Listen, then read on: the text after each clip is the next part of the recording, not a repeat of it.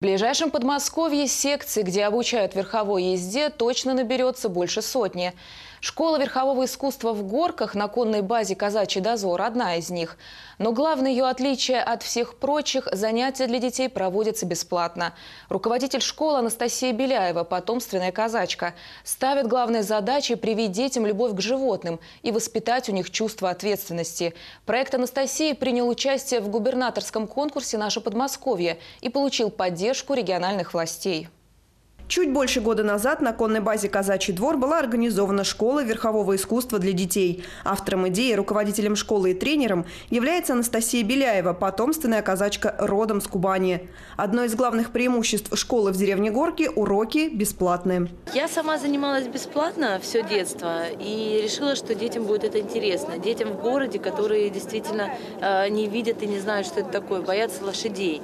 Лошадь – это ипотерапевт, с одной стороны. Лошадь лечит, лошадь – это уникальное животное, с которым можно не просто покататься на котором, да, с которым можно пообщаться. И для меня это стало интересно, почему бы и нет.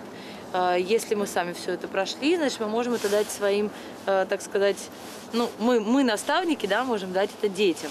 Сейчас в школе верховой езды под руководством Анастасии занимаются несколько ребятишек. Самой маленькой наездницы нет еще и пяти. Она только учится держаться в седле. Веронику в школу привела мама. Дочки, отпускай, ручки отпускай, ножками прижались. Делаем, делаем, делаем. Молодец, сильней, сильней, сильней. Ребенку очень нравится. И вот с удовольствием, в принципе, ходят. Я считаю, что действительно школа такая нужна, потому что многие дети любят лошадей, Япония. Я думаю, что очень много желающих будет, особенно, тем более бесплатно. Еще у одной ученицы Насти, Ульяны, опыта общения с лошадьми значительно больше. Девочка уверенно держится в седле. Самым интересным она считает выходы за территорию школы, которую организует тренер. Мы ходим в походы, мы бывает даже ходим купаться с лошадьми вместе, да. Потом четырехчасовые, трехчасовые, пятичасовые. Не только держаться в седле, но и понимать лошадь, не бояться ее – вот что важно. Ведь каждое животное имеет свой характер, каждому нужен особый подход. Сев в седло, ты обязан быть готовым ко всему. Вот один раз меня эта лошадь унесла в поле.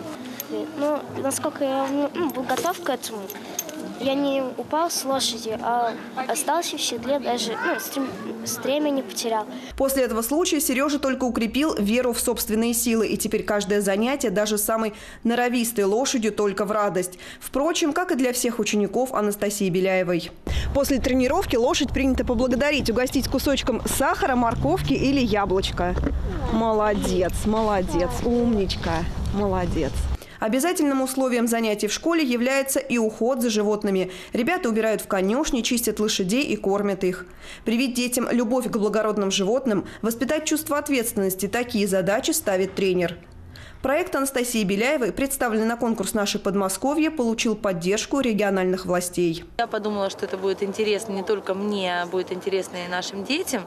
Э, все финансы, которые мы сейчас э, получим, да, приз выигрышный, мы собственно говоря, будем вкладывать в нашу школу верховой езды. Это амуниция для лошадей, это какая-то амуниция для детей, это будут те же самые сладости, это та же самая морковка для лошадей. Главное для Насти сейчас – дальнейшее развитие школы. Она уже нашла сторонников и единомышленников. А с таким упорством и любовью к своему делу все по плечу.